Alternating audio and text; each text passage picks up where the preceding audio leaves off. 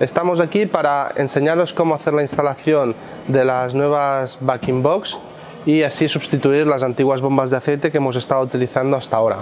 Eh, las nuevas backing box calientan por la parte de abajo, la parte de arriba y cuando abráis la caja veréis que vienen acompañados de dos cables.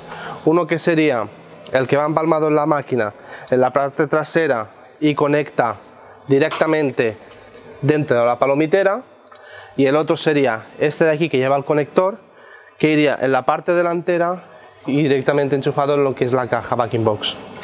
los dos tubos veréis que llevan unas resistencias que lo que hacen es calentar el aceite, el tubo, para que el aceite no se solidifique dentro de la misma tubería. Y van conectados en estos enchufes de aquí. Tenéis uno delante, otro atrás. La temperatura es mínima, solamente es para que el aceite no se solidifique en el interior de la tubería. Para la instalación de estas tuberías, en lo que es la parte trasera, lleva directamente encajado, como podéis ver por aquí en la parte trasera, ya queda bien cogido y después conectaríamos lo que es la, resistencia que veréis que la parte de abajo lleva un, encaje que es el que tenemos que hacer coincidir con el enchufe de la máquina y se rosca. En lo que es la parte de arriba donde va empalmado en la tubería que baja de la máquina usaremos una abrazadera para cogerlo y esto quedaría así en el interior de la máquina. Lo que sería la parte de la caja conectaríamos de la misma manera, lo único que en este caso hay que poner la abrazadera en la parte delantera de la backing box. Pondríamos la abrazadera, colocaríamos el tubo en su lugar, así, y otra vez volveríamos a encajar la resistencia en su sitio. Acordaros de la parte de abajo que ya tiene el encaje, lo colocamos bien con el encaje y roscamos. Una vez montado las tuberías, visto desde fuera, esto quedaría así.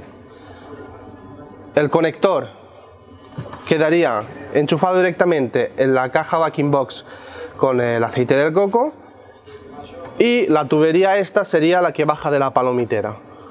¿Vale? Quedaría así, tira por aquí y transporta el líquido hasta arriba a la palomitera a la olla. Una vez tenemos la backing box preparada con sus tuberías en su sitio, pasaríamos a lo que es retirar el antiguo equipo que tenemos y preparar para poner el, nuevo. Para quitar el antiguo tenemos dos cosas que quitar. Una sería el cable eléctrico, que sería por rosca, como ya sabéis, quedaría fuera. Y lo siguiente sería quitar el tubo de goma que sube desde la bomba de aceite hasta la palomitera. Esto va con una abrazadera que quitaremos.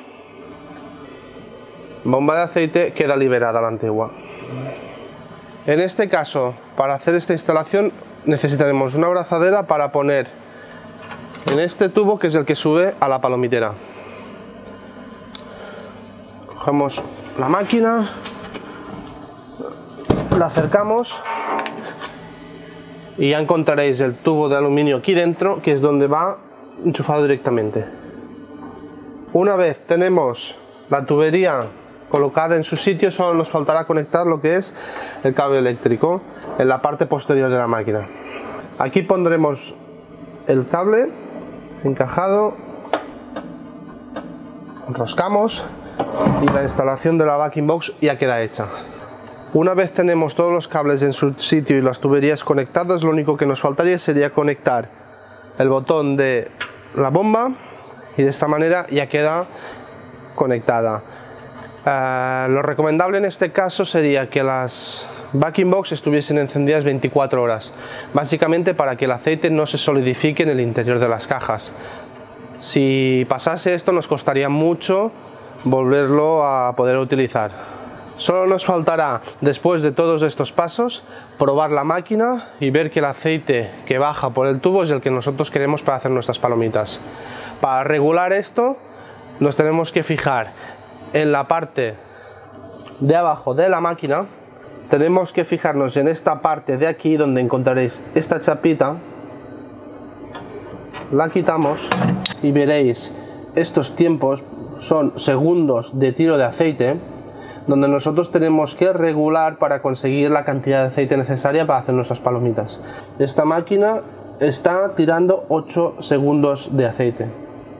En el caso de que nosotros veamos que esta máquina está tirando más de aceite del deseado, vamos a reducir, le vamos a quitar los 8 segundos y le vamos a poner 6 o 2 4, lo que queramos. En el caso de que sea lo contrario, que necesitemos que esta máquina tiene más aceite, primero empezaremos probando los 8 segundos que ya tenemos más 1 o más 2 o más 4 hasta conseguir la cantidad eh, exacta de aceite que necesitaremos.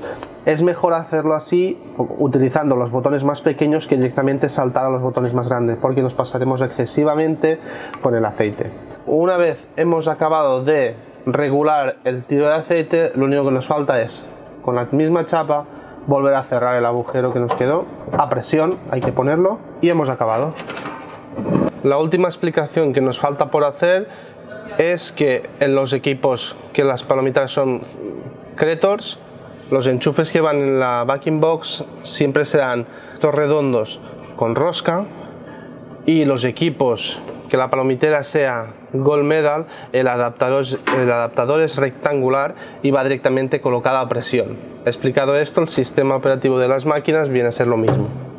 Muy importante, siempre cuando tengáis cualquier duda o problema y queráis contactar con nosotros, siempre mirar, detener esta plaquita y identificar la máquina con el modelo y el número de serie. De esta manera sea mucho más fácil detectar qué máquina tenéis y qué, y qué solución os podemos dar. De esta manera la instalación de nuestras backing box queda hecha.